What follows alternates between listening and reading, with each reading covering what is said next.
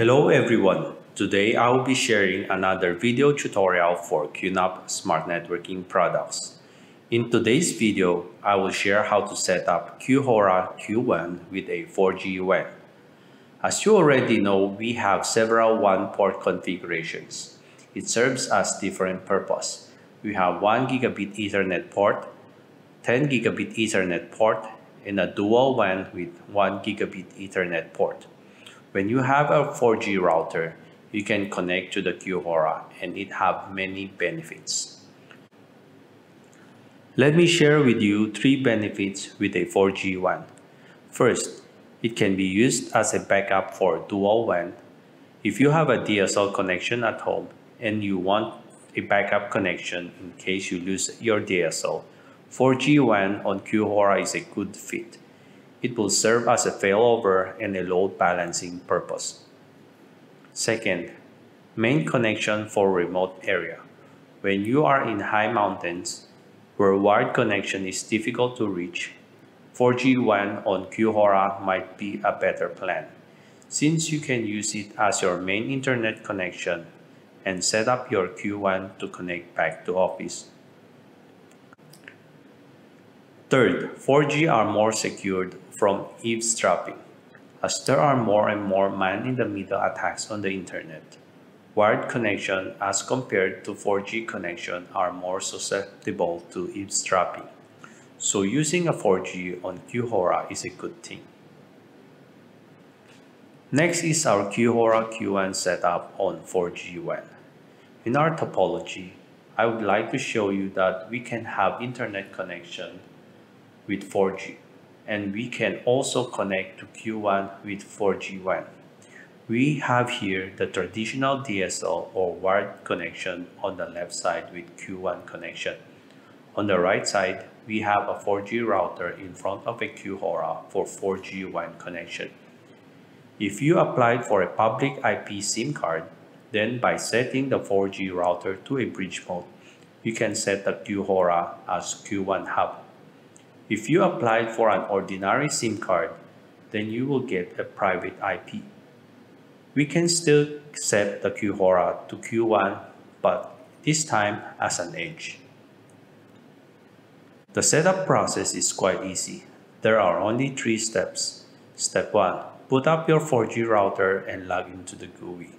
Unlock the pin and set the operation mode to bridge mode. I've tested with a few 4G routers and they have bridge mode. Step 2.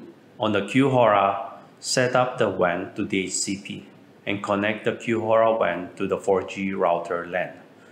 Step 3. On the QHORA, log in with QID and set up the QuWAN connection. For the GUI setup, we first log in to the 4G router. I have here a Netgear 4G router we log into the GUI first and then set the pin. And then once I have set up the pin, I go to mobile SIM security and I inactivate the SIM security. The reason is that so that when I reboot my Netgear 4G router, I don't need to set the pin every time I boot up. Then after that, I go to advanced. On the LAN, I set the operation modes to bridge mode. This is so that I can get the IP that the ISP provides to the device. So in my QHORA, I will get uh, IP address from the ISP. So then I go to the QHORA.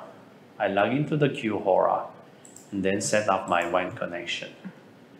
My WAN connection is a DHCP and I got an IP address 10.75.157.119. This is a private IP address from the ISP. And once I have set up this uh, WAN setup, I go to the QuWAN. I log in with, uh, with my QID and then I set up my QuWAN. I set up to, to a organization, region, site, and a device name. Now let's take a look at the orchestrator. This is the org and this is my device. Uh, I set it up to QHORA Henry 2, this one. So as you can see the link status, it is uh, connected and it has a VPN status connected. to a hub. So the topology looks like this.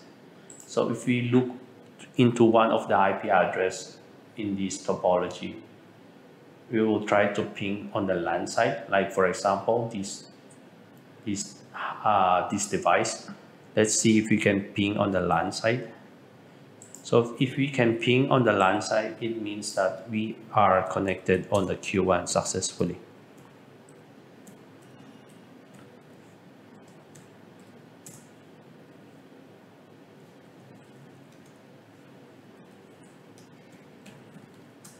Okay, now you can see that I can ping to the LAN side of another device in the QuWAN.